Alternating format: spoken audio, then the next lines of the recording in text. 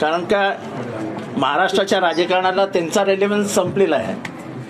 Irrelevant झालेले ते. त्यामुळे शरद पवारांनी काय करावं? ह्याच्यापेक्षा राज ठाकरेंनी काय करावं? किती वेळा भूमिका बदलाव्यात? ह्याच्या संबंधित त्यांनी विचार करावा. शरद पवारांना उद्देश करायला जाऊ नये. त्यांचं म्हणणं की जातीचं मला माहीत नाही. मात्र जातीच्या मुद्द्याला परवाळे यांनी हातभार लावून जातीचं तुम्हाला माहीत नाही तर तुमच्या घराखाली दलित विद्यार्थ्यांना मारहाण का झाली? पोरीला मारलं होतं. आणि जेव्हा डॉक्टर बाबासाहेब आंबेडकरांची पुण्यतिथी असते सहा डिसेंबरला तेव्हा तेव्हा तुमचा बंगला सोडून तुम्ही चार दिवस लोणावळ्याला जाऊन का राहता?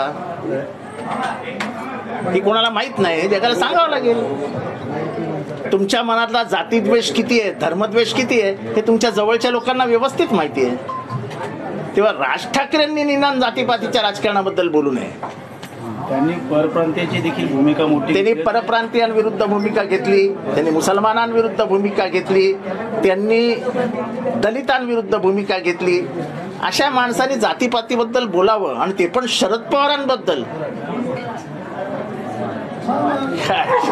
हास्यास्पद आहे पण त्यांना हास्य विनोद करण्याची सवय